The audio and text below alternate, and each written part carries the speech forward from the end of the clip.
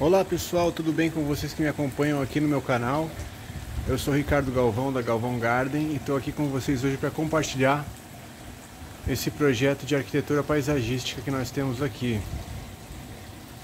Vou começar a explicar para vocês.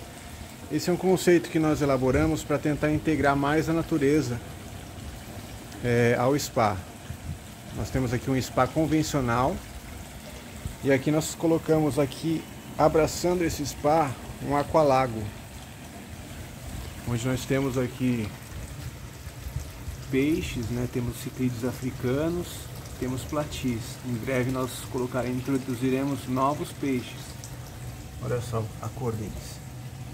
Temos aqui uma ninféia, plati variatus bicolor, que é o amarelo, plati azul, e temos o auratus azul. Então esse projeto aqui dá a impressão, você reparar, que a água do spa está caindo nesse, nesse aqualago aqui. Só que não. Só que aqui é um, um sistema independente, onde a água é tratada com cloro. E aqui é outro sistema que nós temos ali atrás um sistema de filtração biológica e com tratamento de luz UV. Nesse projeto colocamos aqui também um jardim vertical com, com tela, onde os vasos são fixados em vasos meia-lua. Também foi introduzido aqui um sistema de lareira ecológica. Essa lareira ecológica ela foi embutida nessa pedra, que é o granito São Gabriel, e ela funciona da seguinte maneira: a gente tem essa tampinha e ela funciona como se fosse um fogão a gente aperta, gira, aperta o botãozinho e já está acesa. Como está de dia, não dá para ver muito bem o fogo, né? Mas ele está aceso. De noite ele se destaca mais. Deixa eu ver se a gente consegue ver melhor de outro ângulo. Não, está muito claro ainda. Aqui dá para ver. Mas é à noite que, que ela se destaca mais.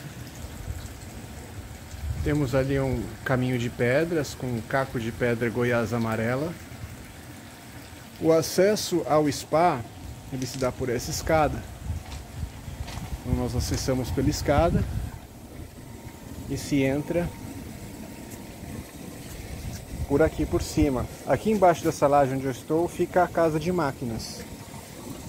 Então ali nós temos o vidro e do outro lado o tratamento de, com filtração biológica. Aqui mais um ângulo mais panorâmico, temos dois jardins verticais e no meio nós temos o porcelanato madeirado ali revestindo o muro. Temos aqui a dionela, né, que é essas aqui de cima, temos samambaias, essa, essa folhagem aqui é o tinhorão, chifre de viado, abacaxi roxo aqui mais de perto para vocês conferirem, né? É uma tela e o fundo pintado de preto. Aqui estão as folhagens. Esse aqui é o Pedrisco Mato Grosso, que ele está inclusive também dentro do aqualago. É um pedrisco marrom bem bacana.